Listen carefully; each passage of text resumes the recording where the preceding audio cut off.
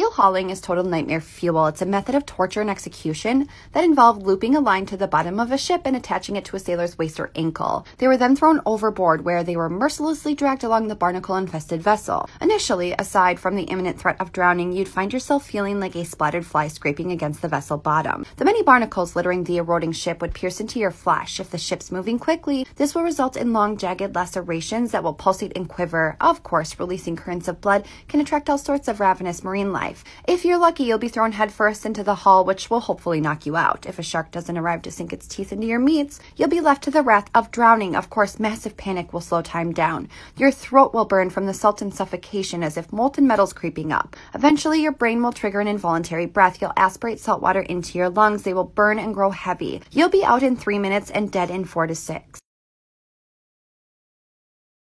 A gibbet refers to any device used in public executions, but the act of gibbeting is a whole other story. You need the gallows for this one. Instead of having a rope tied to the neck of the prisoner, they were shoved inside of a bone-tight human-shaped cage made of iron. They were then hung up on the gallows on display.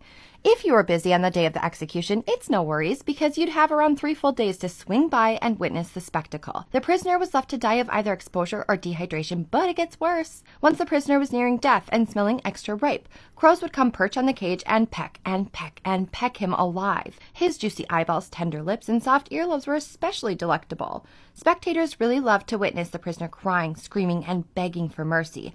I mean, just imagine this. You're dying in absolute terror and agony, and the soundtrack of your demise is a laughing, cheering crowd. This has been used as far back as the 16th century, and it is both dehumanizing and cringe inducing. First of all, you would have your nostrils clenched shut with a device that looks like an intimidating wrench. You will have to open your mouth in order to breathe, at which point a hollow bite block will be shoved in, followed by a long tubed funnel, or maybe even a long round piece of cloth.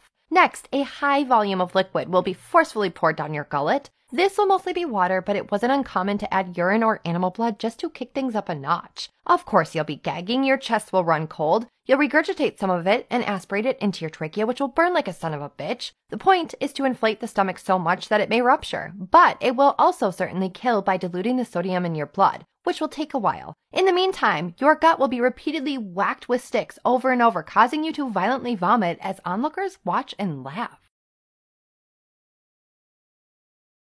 This torture method was not meant to kill a person, but to inflict plenty of anguish to get them to divulge all of their secrets, and allegedly it was very effective. This would all begin with dipping your feet in salt water. Next, your restrained and a hungry goat brought in. Yep, you heard me right. Of course, the goat would begin feverishly licking the soles of your feet. If you have a cat dog, you understand this pain. A goat's tongue is rough. It's very similar to sandpaper. Initially, it would tickle and feel super awkward, but as it continues to lick the same spots over and over, your flesh would grow raw. It's believed that if this continued for an hour or more, the goat would eventually lick your skin right off. This would induce a deep, vulnerable, hot throbbing that would overtake your foot, with each lick rubbing the salt into your practically road burnt sole. You'd squirm and scream for mercy. The torture continues long after, when you must walk on your bloodied skin, and it would take weeks for that madness to dull.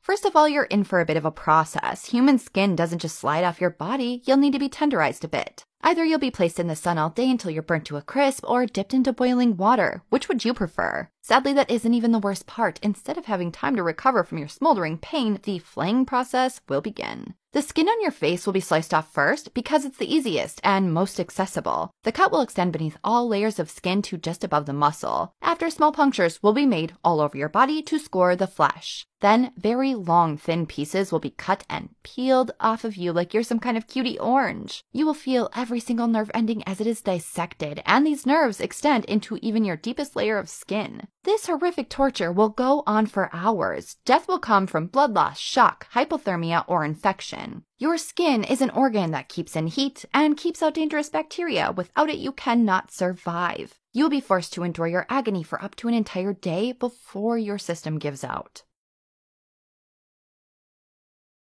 This is still used today in some of the most brutal prisons in the world. It's a punishment for hunger strikes. Instruments are not always sterilized and are administered with such frustration that it causes some of the worst pains imaginable.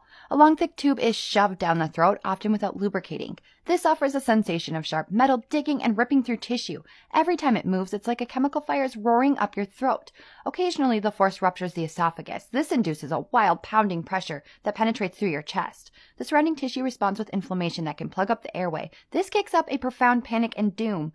Sometimes so much nutrition is forced down the tube at quick rates that it straight up busts the stomach. Imagine a small nuke detonating in your gut, causing ripple after ripple of mouth-watering, nauseating, doubling over cramping. And it only gets worse. As the day fades to night, a deadly infection of the lining of the gut springs up. Death can arrive in anywhere from minutes to four days later. This execution didn't require any extra bells and whistles or added theatrics. It simply required one prisoner, a mob of sadistic and angry folk, and one steep rock. This rock was known as the Tarpeian Rock, and it offered an intimidating straight down drop of 80 feet. It was just high enough to likely cause death, but low enough for the possibility of surviving a minute or two in bone busted, organ ruptured anguish. A second go around was always a possibility. First, the prisoner was dragged to the top of the toe tingling cliff, and their utter terror put on full display. Next, they were turned over to the angry mob, where they were brutally beaten, taunted, and tortured. There was only one strict rule the prisoner must remain alive and aware.